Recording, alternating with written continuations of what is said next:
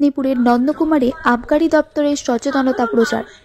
একদিকে বিষাক্ত চোলাই আর অন্যদিকে জাল মদ খেয়ে বহু মানুষ মৃত্যুর মুখে ঢলে পড়ছেন, যা সম্পূর্ণ অস্বাস্থ্যকর পরিবেশ তৈরি বলে জানানো হয়েছে কারণ বেশি লাভের আশায় চোলাই কারবারিরা বিষাক্ত বিভিন্ন পদার্থ মিশিয়ে দেয় চোলাইয়ের সাথে যা সম্পূর্ণ অস্বাস্থ্যকর।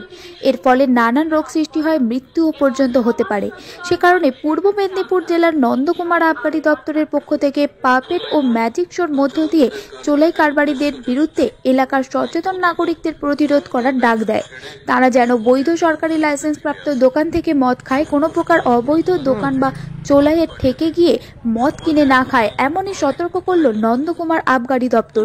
নন্দকুমার আবগারি দপ্তরের ওসি পিন্টুচরণ দাস জানান, এমন ব্যবসার সাথে যুক্ত ব্যবসায়ীদের সমাজের মূল স্রোতে ফিরে আসার আহ্বান জানানো হয়েছে। পাশাপাশি সম্মানজনক পেশা অবলম্বন করে মাথা উঁচু করে বাঁচার আহ্বান জানায়। যে কারণে চোলাই মদের ওপর নিষেধাজ্ঞা জারি করে চোলাই মদ পান করা থেকে বিরত থাকা চোলাই মদ বিক্রি পর্যন্ত বন্ধ করার ডাক দিয়ে এদিন নন্দকুমারের বিভিন্ন প্রান্তে সচেতনতামূলক প্রচার চালানো হয়।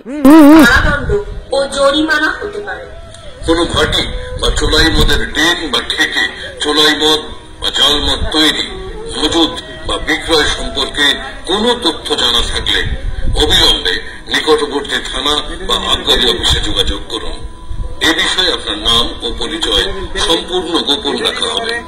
বর্তমান কোভিড পরিস্থিতিতে যাবতীয় স্বাস্থ্য গণেশ আর্ট গ্যালারি ভাস্কর্য শিল্পের বৈচিত্র্যতায় এক অনবদ্য প্রতিষ্ঠান। আমাদের এখানে বিভিন্ন ছবি অনুযায়ী নিখুঁতভাবে যাবতীয় পাথরের মূর্তি তৈরি করা হয়।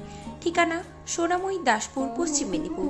যোগাযোগ nine eight three one nine one five zero four six. এছাড়াও eight five eight three eight three six one four five.